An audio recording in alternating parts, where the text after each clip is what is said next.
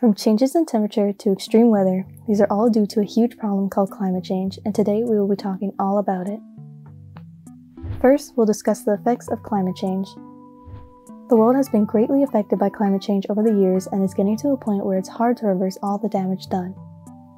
Human activities have been the main cause for climate change, with people continuously burning fossil fuels and releasing pollutants that pollute the air and lead to many bad things for humans, such as early death.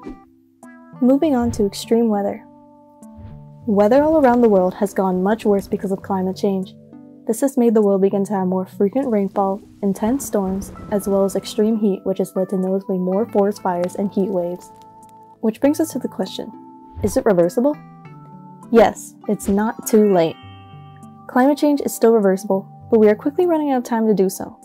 Even when time has run out and it becomes no longer possible to completely stop the planet from getting warmer, we can still reduce how fast it warms in the future, so start acting now. Now here are some solutions you can try.